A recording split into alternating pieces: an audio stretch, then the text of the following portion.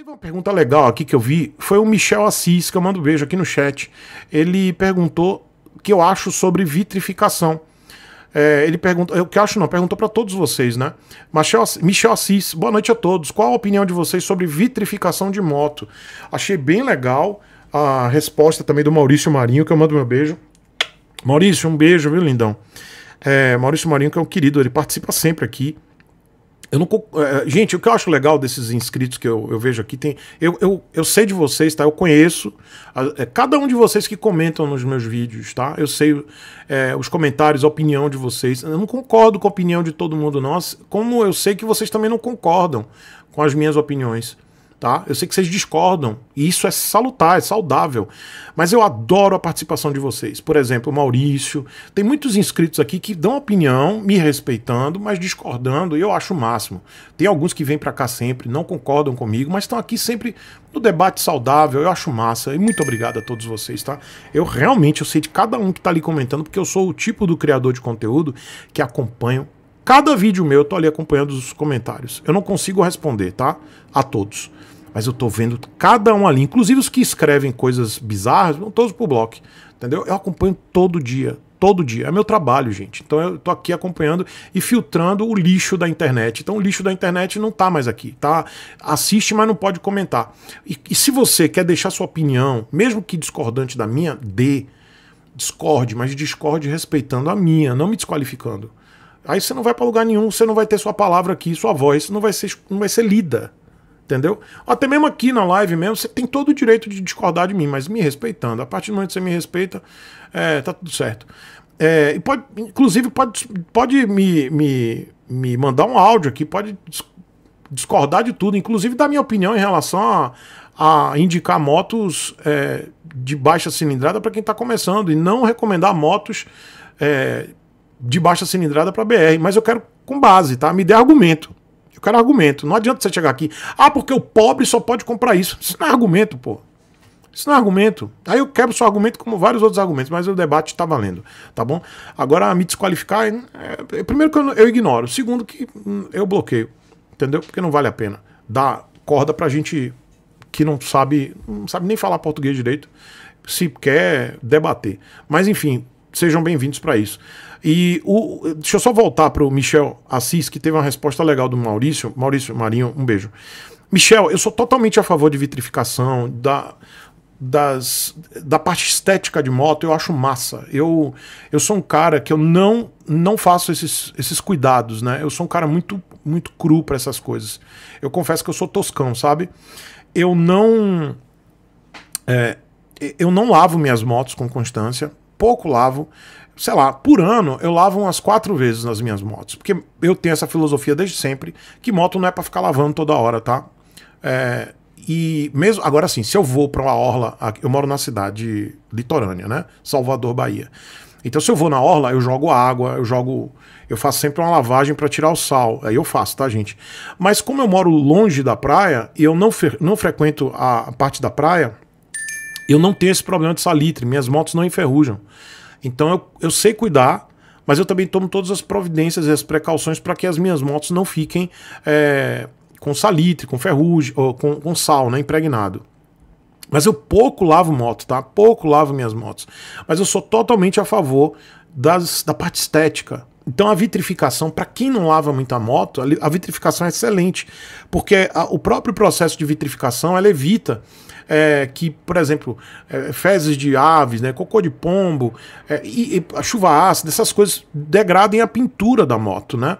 E criam uma película. Inclusive, é, é, eu vou falar aqui sem muito conhecimento de causa, mas é, é hidrorrepelente. Então, assim, a água ela, não, ela bate ali na, na vitrificação e ela escorre. Você só joga uma água ali, a sujeira ela não fica impregnada na moto. Então, eu sou totalmente a favor. PPF, para quem aplica PPF no, na moto, também eu sou a favor. É, quem aplica, quem faz a vitrificação. Inclusive é um procedimento que eu quero fazer aqui em Salvador, mas ainda não achei um parceiro que eu possa fazer nas minhas motos, mas eu quero fazer, tá?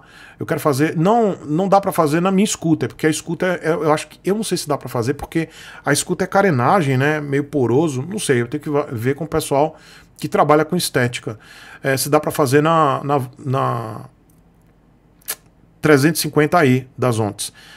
Mas na, na, na, nas outras, sim, tá? Eu quero fazer. Uma coisa que eu quero fazer muito. E se alguém tiver aí, se for alguém de Salvador, região metropolitana, se tiver uma estética automotiva, é, que aplique PPF, que aplique vitrificação, fala comigo aqui para eu poder fazer uma parceria com vocês e eu mostrar o trabalho. Eu quero fazer em todas as minhas motos, mas eu não tenho parceiros ainda para poder mostrar para vocês um bom trabalho. E aí, Michel, é importante achar um bom profissional profissional que tenha todos os materiais, que tenha todos os equipamentos para fazer isso, que tenha um ambiente adequado. Não pode ser o Tião Meleca, a oficina do Tião Meleca que diz que faz vitrificação e, e oficina de motos. Fuja do Tião Meleca. Você tem que ir para uma oficina que o cara seja especializado nisso, tá? Que tenha todo equipamento, que tem para você fazer estética de moto, hoje existe uma estrutura própria para isso, ferramental para isso e cursos de, especialização, né? Então esses caras, eles vão se especializando, conhecendo os produtos. Então é uma coisa que eu quero muito trazer aqui para o canal, mas eu ainda não tenho parceiros para poder fazer em todas as minhas motos, que eu quero mostrar para vocês.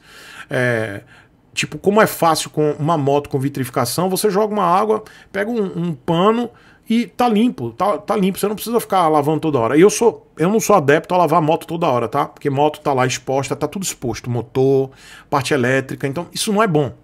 Tá certo? É diferente de um carro que tem um capô ali que está protegendo toda a parte eletroeletrônica. Moto não, tá tudo lá exposto, galera. Então, muito cuidado para você que tem aí mania de ficar lavando moto toda semana. Relaxa, tá, amiguinho?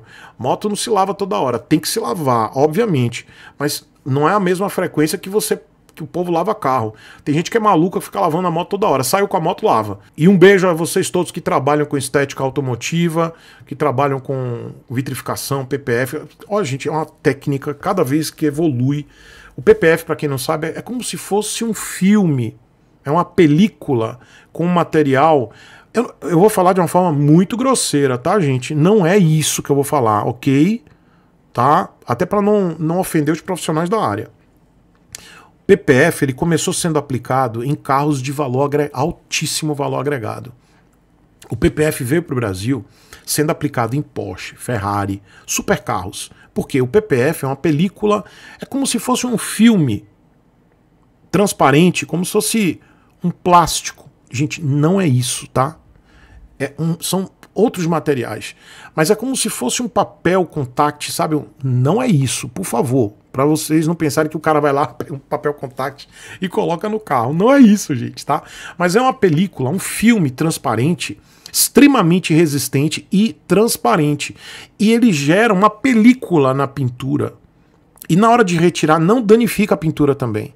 Então, o que, que a galera é, fazia isso lá no início? E, a, e faz até hoje. Quem compra carros, super carros, de valor agregado altíssimo, tô falando de carro de meio milhão, um milhão de reais, tá, gente? A galera tira da concessionária e leva para aplicar o PPF, porque o PPF protege a pintura do carro. Então aqueles pedriscos da rua, de botar na rodovia, pô, você vai ter um carro desse, você vai botar na rodovia, né? Então esses pedriscos, esses pequenos, é, é essas essas, é, esses detritos que danificam a pintura, com o PPF aplicado, isso tem uma proteção. Então é caro, é um produto caro, mas é um produto que é essencial para quem tem uma moto, um carro. É, e aí independe se você tem uma moto que é caríssima ou uma moto que você gosta. Então é um produto que vai proteger o seu veículo. E agora o PPF está sendo aplicado nas motos em várias partes das motos. Isso gera uma proteção absurda na pintura, nas, nas partes da moto. E você não vê o PPF.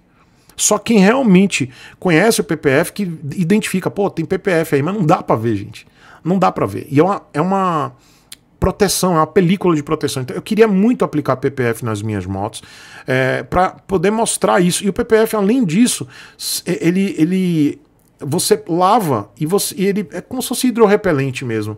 Ele tem uma função, na minha opinião, muito maior de proteção do que uma vitrificação. A vitrificação ela tem um período, né, um, um tempo de vida útil menor do que o PPF, tá? O PPF ele também tem que ser trocado, mas aí o PPF, a duração de um PPF é de muitos anos, tá?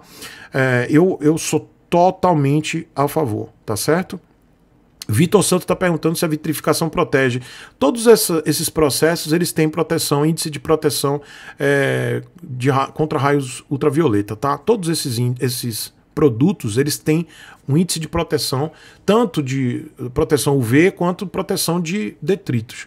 Então, ó, recomendo bastante. Eu quero mostrar isso aqui para vocês. Espero encontrar em breve um parceiro para poder mostrar esse, esse produto para vocês aqui no canal, tanto para carro quanto para moto. Mr. Mister está perguntando se a proteção é aplicável à pintura fosca. Poxa, eu não sei.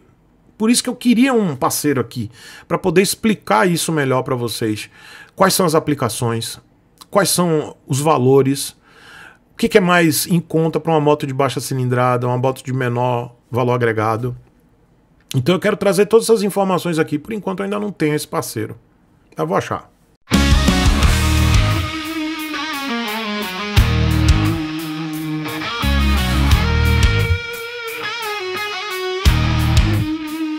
As notícias vêm vão.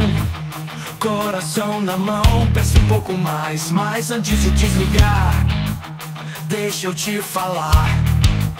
Pra que tanta ansiedade? Se nem sabe se dá pra comprar